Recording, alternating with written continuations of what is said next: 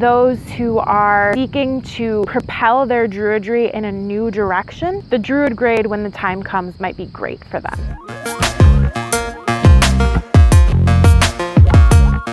Hey there saplings, welcome back to Esoteric Moment. Today I am finally doing a review of the Druid course from the Order of Bards, Ovates, and Druids. You've probably already seen my Bard and Ovate videos, but if not, there's a link up above or down below in the description doobly-doo. Check those out if you are unfamiliar with the Order of Bards, Ovates, and Druids, or coursework. The format of this course is the same as earlier format. I don't believe there was an audio version. I think it was just a paper text copy, but I could be wrong about that, or there could be one in the works. I paid a fee that was pretty similar to earlier courses that covers the materials and shipping costs. After I paid that fee and submitted my review from the Ovate course, then I was invited to do the Druid grade. Each month I got a packet with four Gwersi, a Touchstone magazine, and some supplemental materials depending on where I was in the course. This is all all very straightforward, similar to previous courses, and still great. The actual material covered in the Druid grade is pretty straightforward. There's a big chunk of like history and theology. There's another big chunk on how to be of service, to be a teacher, leader, somehow to use your gifts for your community. And there's some great information about the King Arthur myth, a good perspective on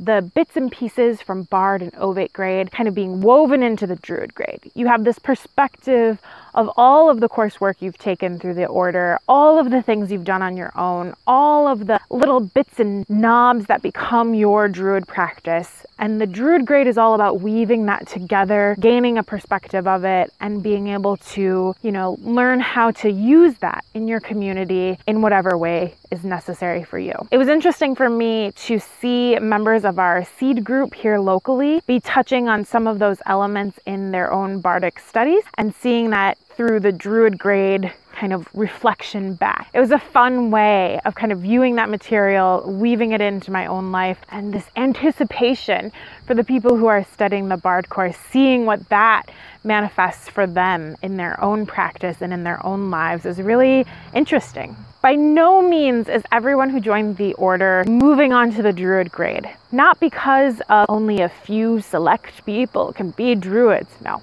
It's more that people are called to do their practice in many different ways. Sometimes the studies in the Bardic grade are plenty for them to work on, and it takes years, or they just love it enough that that's that's what they want. And the same with the ovate. There's a lot there, and that might be where your practice is called to be. I think those who are looking to teach, those who are looking to weave all elements together, those who are seeking to propel their druidry in a new direction, the druid grade, when the time comes, might be great for them. I am so grateful to all of my mentors in every grade. I am so grateful for the office of the order who's just very diligent about responding to emails, helping people out. They genuinely care about people and their enjoyment of this course, enjoyment of belonging to the order. Gratitude for all of the teachers and leaders who have helped me on my way, who help us all, who, who helped create the course. There's a lot in there. As cliche as it sounds,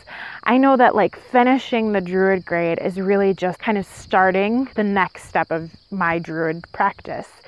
And that's exciting. This course was totally worth it for me. I think the value that I got out of participating in the order, the value I got out of continuing through all the grades was immense. There's a real sense of wonder at having like taken the last four and a half years to do this whole process, see how it's changed my life. I genuinely feel that without what I've gained in the order, had that not happened in my life, I don't think the magic that is my life now would have been happening. Like, I don't think I would have as clear of an idea of my gifts and vocation. I don't think I would have this farm in the same way. I don't think my relationships would be the same. I think it's offered a lot of introspection and understanding of myself and understanding of those around me. There's just a lot here. It's a really beautiful process, and I'm, again, so grateful.